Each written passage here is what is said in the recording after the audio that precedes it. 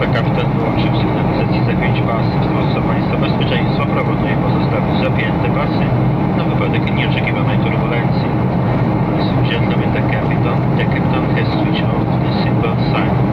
For the, for the sake of our comfort, we suggest